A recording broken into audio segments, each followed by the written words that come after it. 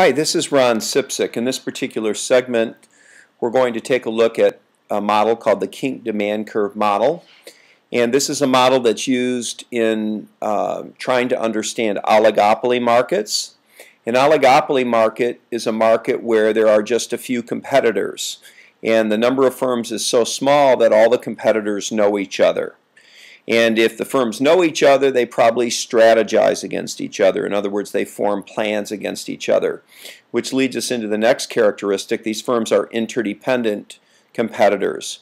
What does it mean to be an interdependent competitor? Interdependence has to do with how firms respond to the action of other firms. If you're interdependent, if you're in an interdependent market, one firm's, let's write this out, one firm's action will affect the behavior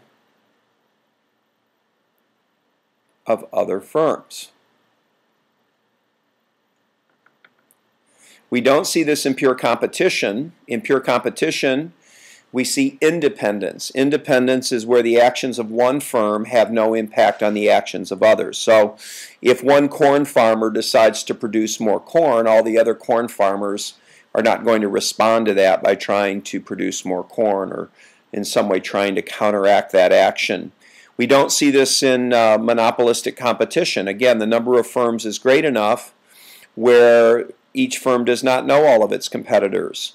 And so one firm's actions um, are probably not even recognized by the other competitors, and those other competitors are not going to change their behavior on the basis of one firm changing its behavior. So if one hair salon were to run a perm special or run a haircut special where they were going to knock 10% off of haircuts on a certain day, it's not like all the other hair salons would notice that and respond to that.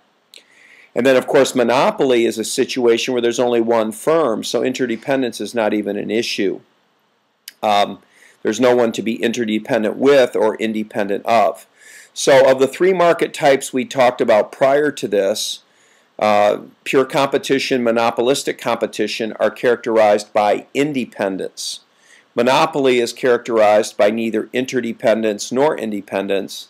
Oligopoly is the only market type where we have what is called interdependence. This, this results in some very, very interesting outcomes because if one firm does something, it can count on other firms responding to that and counteracting it. So in other words, my outcomes are partly dependent on what my competitor does.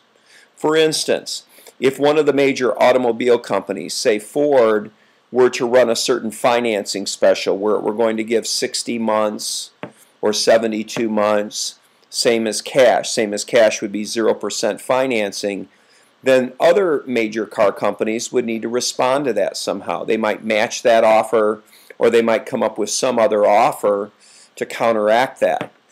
Um, but the action of my competitors will cause me to change my behavior. And so my behavior is not just dictated by market forces, uh, supply and demand, costs, those sorts of things. It's also dictated by the behavior of other competitors in the market. This is the nation, uh, nature of an interdependent market. And then the last characteristic we're going to note here, besides uh, a few firms and interdependent competitors, is these firms engage in product differentiation. The interesting thing is, in these markets, product differentiation is often personal. So competition, again, is personal. When one firm does something, the other firms are going to notice and counteract that, that action with some other action. All right, so competition is personal. In the other markets, pure competition and monopolistic competition, uh, competition is not personal. Where you have independence, where firms are independent, their competition is not personal because each firm is not responding to the behavior of another particular firm. All right, so with this background in mind, let's talk about the kinked demand curve model. I'm going to go ahead and scroll down and I'm going to show you uh, the idea by building the model. All right, I've already set up a framework here that I want to use. Notice I have two demand curves drawn in the same space. One of the demand curves is relatively flat. One of the demand curves is relatively steep. The flat demand curve, we're going to call this flat demand curve the do not follow demand curve. Now I'll explain this here in just a minute. But let's just go ahead and label that flat demand curve the do not follow demand curve. And then the steep demand curve, we want to label that the do follow, do follow demand curve. Now what I want to do is I want to shade in the flat portion of the do not follow demand curve above the point of intersection. So where those two curves meet, those two dotted lines meet, I want to find that point of intersection. I want to shade in the do not follow above the line of or point of intersection and I want to shade in the do follow sorry about that my hand's not very steady and I haven't really had that much coffee today I think I can improve upon that though so let me we want to uh, impress you with our shading ability here. So let me try again here. So I'm going to shade in green over the, oh, I guess not. I better get my pen working. I'm going to shade in green over this steep portion. Okay, good enough.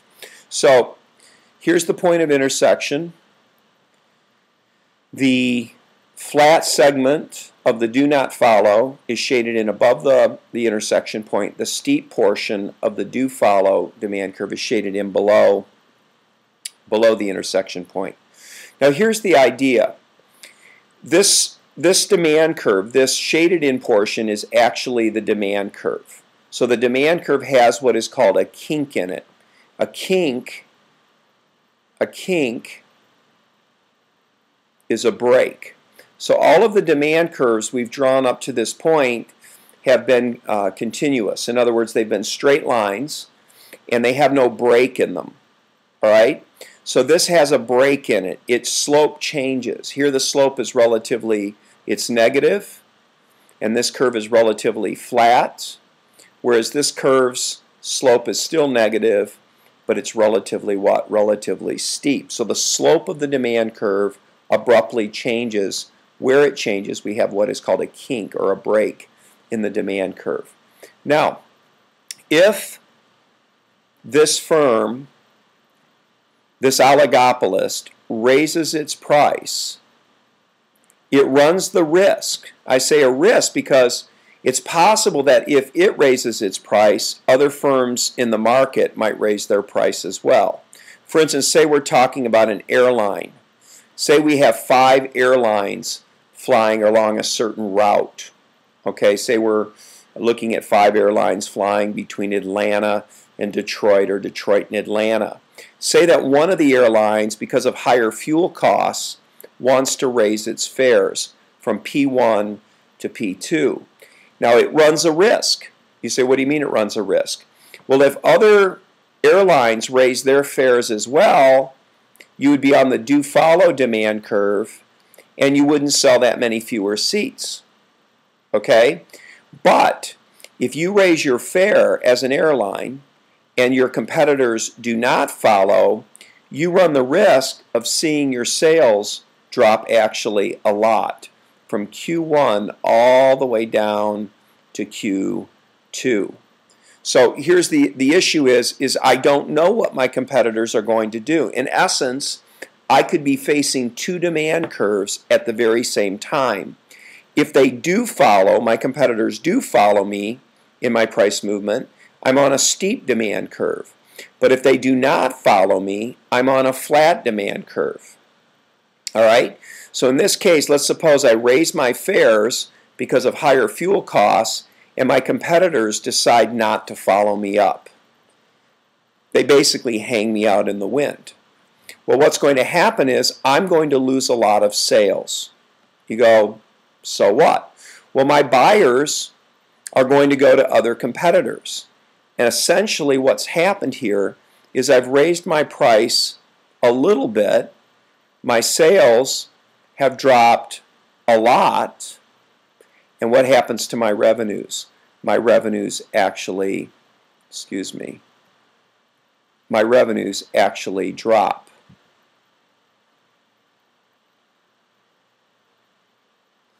Now, I would have never raised my fares had I expected my revenues to drop. I must have raised my fares believing there was a chance that my other the other firms would follow me. So how is it that I could raise my price, my sales would drop a lot, and my revenues would drop? It's because my competitors do not follow. Okay? Now, let's go to the other side of the coin. Say that I'm an airline and I'm flying against four other competitors on a certain route. Say that I want to um, try to uh, engage in some sort of pricing action that would pick up some sales from my competitors. So let's say that I want to lower my fares. I lower my fares from P1 I'm going to call this P2 prime. So I lower my prayers, my fares quite a bit, but my sales, because I'm moving down a relatively steep demand curve, my sales only increase a little bit. In other words, I run the risk that my competitors will not follow me, will follow me down. So the, the, issue is I could raise my fare, I raise my fares and, and sell a lot fewer seats, or I could lower my fares and not sell many more seats because my competitors actually follow me down a relatively steep demand curve. Now I don't know what they're going to do. I lower my fares believing they are not going to follow me down, but it turns out they do follow me down and I don't sell that many more seats. What happens to my revenues if I lower my lower my fares a lot and I don't sell that many more seats. Well, let's look at this. I cut my fares or lower my price, but I don't sell that many more seats. Why? Because all of the other competitors cut their fares. My buyers are relatively what? Price insensitive. What happens to my revenues? My revenues drop. Why did my revenues drop?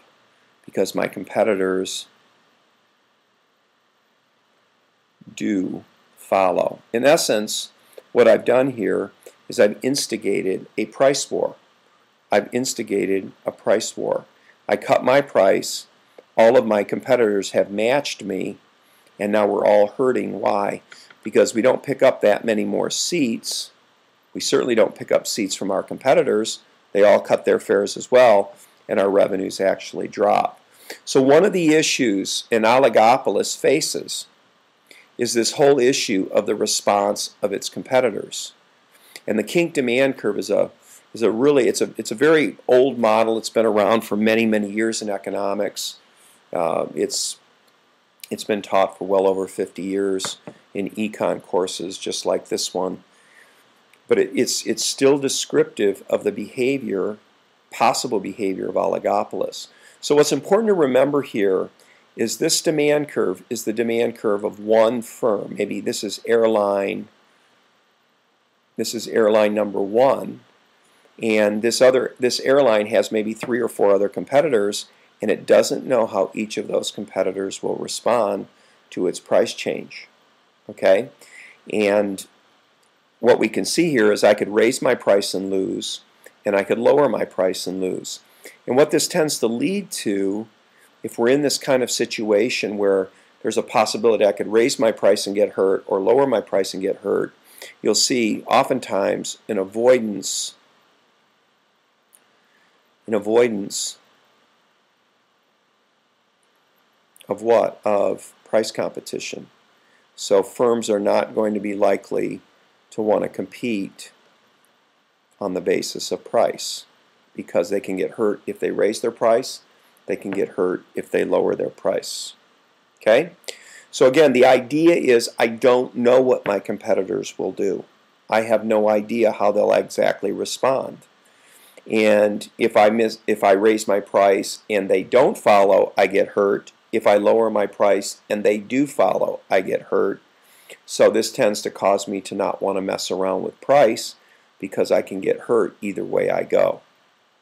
Okay? That's called the kink demand curve model. And let me just go ahead and jump off of this explanation into something called price leadership, uh, what is called a price leader.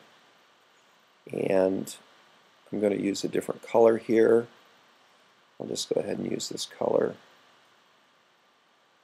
And I'm going to draw a very steep demand curve. And this will be the steep demand curve is a do follow demand curve.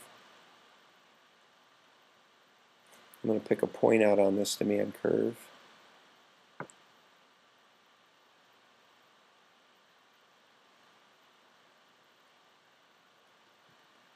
Uh, we don't need equilibrium on that. Let's just call that P1.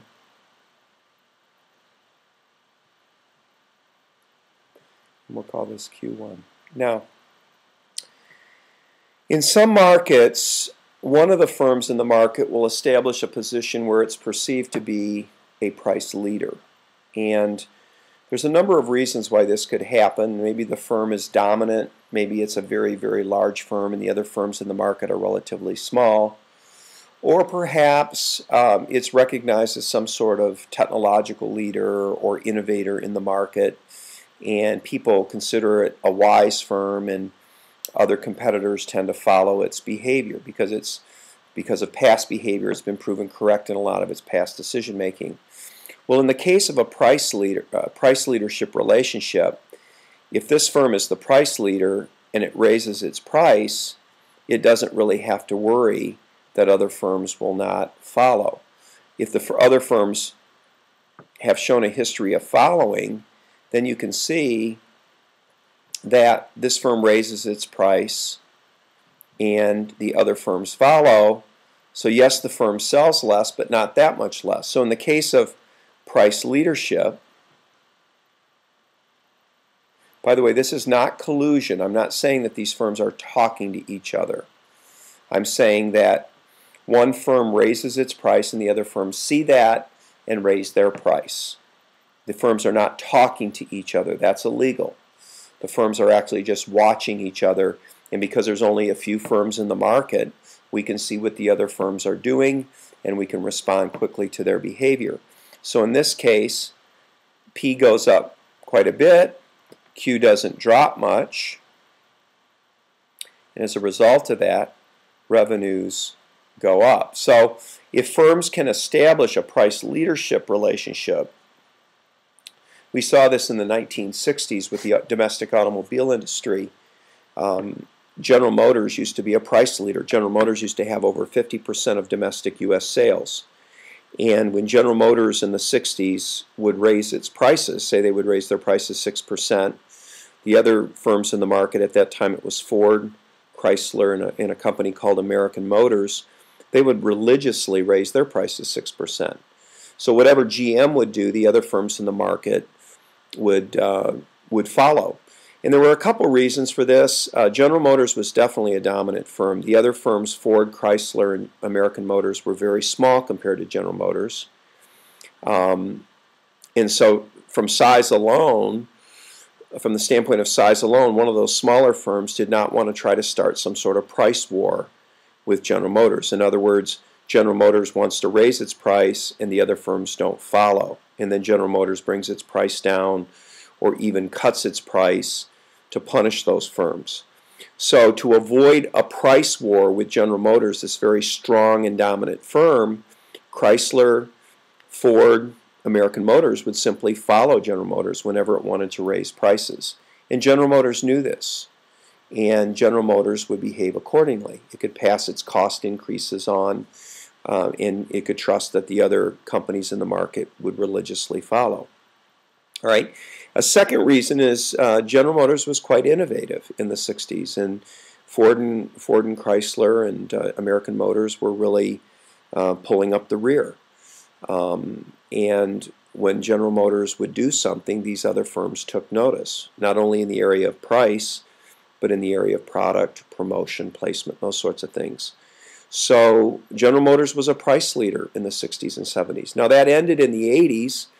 There were a, number of things that happened in the automobile industry that changed that dynamic. One of which was a uh, General Motors began to lose market share to the Japanese uh, companies like Toyota and Honda. And so there were some major structural changes in the U.S. automobile industry that uh, caused the other players to stop following General Motors. Chrysler began very aggressive marketing in the early 80s under an executive named Lee Iacocca. And Lee Iacocca was, uh, through Chrysler, was one of the first companies to offer rebates, you know, $1,000, $1,500 rebates on cars, basically price cuts off of the sticker price and incentives, financing incentives. And this destabilized, in a sense, this price leadership relationship. Okay, so let me just quickly review again. If, if we're in a situation where we might raise our price and other competitors might follow, um, then we're going up a steep demand curve. Okay, and that's price leadership. But if we might raise our price and the other firms might not follow us up, then we're in a kink demand curve relationship. The demand curve goes flat here, becomes very elastic, and the firm can really take it on the nose if it tries to raise its price. Okay? Well, that ends, uh, that ends our lesson on the kink demand curve and a very brief mention of price leadership.